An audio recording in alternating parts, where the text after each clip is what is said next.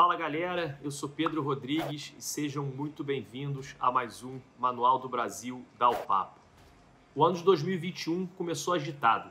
Para quem achava que o enfrentamento da pandemia e o início da vacinação iria dominar as notícias dos acontecimentos do mês de janeiro, caiu da cadeira logo na primeira semana. Apesar das eleições americanas de novembro, que deram a vitória ao democrata Joe Biden, estarem decididas e sacramentadas pelo colégio eleitoral, o presidente Donald Trump parece que ainda não aceitou o fato. E depois de um vídeo lançado nas redes sociais questionando o resultado das eleições e apontando, mesmo que sem provas, fraudes na contagem dos votos, diversos apoiadores do presidente foram parar na porta do Capitólio para protestar contra o resultado. O que poderia ser uma manifestação pacífica acabou se tornando um ato violento com invasão ao prédio do Congresso e terminando na morte de quatro pessoas. Cenas nunca antes vistas pela maior democracia do planeta.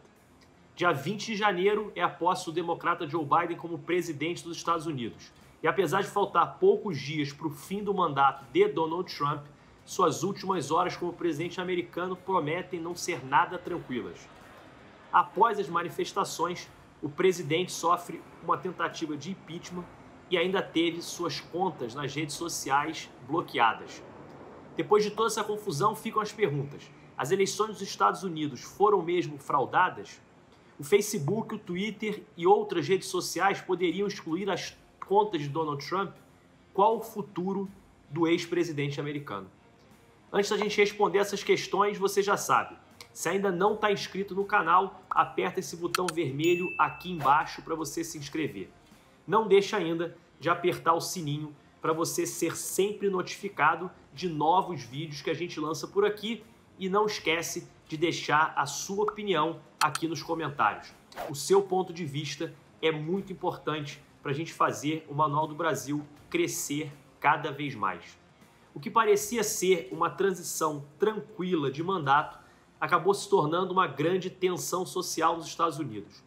Durante, mesmo durante a votação no final do ano passado, o presidente Trump já ia dando indícios de que não seria tão fácil tirá-lo da Casa Branca.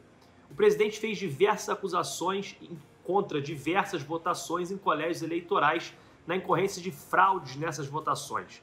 Alguns estados, inclusive, realizaram recontagem dos votos e alguns pleitos foram parar na justiça. Qual o grande problema? As acusações do presidente não passavam de simples acusações. Em nenhum momento Trump conseguiu provar as acusações que estava fazendo sobre as fraudes. Assim, sem provas, palavras viraram memes. O presidente passou a ser ouvido somente por seus apoiadores mais radicais, perdendo inclusive apoio de grande parte do Partido Republicano, que acabou aceitando a vitória do democrata Joe Biden.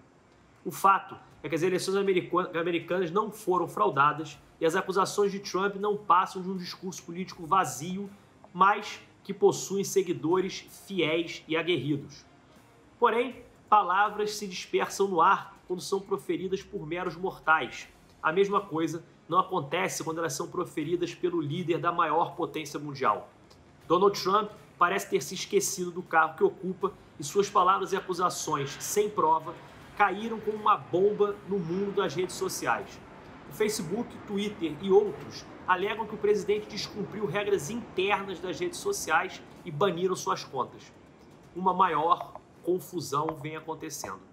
Será que essas empresas deveriam banir as contas de Trump? Seria o banimento um atentado contra a liberdade de expressão? A discussão pode parecer simples, mas não é. O fato é que o Facebook e o Twitter são empresas privadas, possuem regras próprias acordadas com todos os seus usuários num contrato. Logo, o desrespeito a essas regras acordadas previamente está sujeito a punições dentro das próprias redes. Essa é a alegação das empresas. Trump, ao incitar a violência, entre outras coisas, quebrou regras, logo teve a sua conta banida.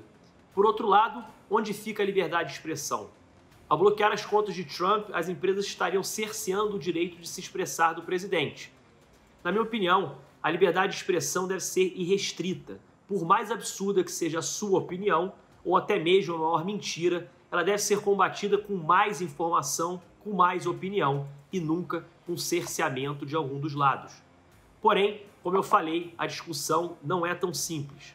Ao mesmo tempo que a liberdade de expressão deve ser total, o desrespeito às regras de uma determinada comunidade, no caso as redes sociais, também deve ser total e punida. Em nome da liberdade de expressão, não se pode respeitar regras, cometer crimes, caluniar alguém e assim por diante.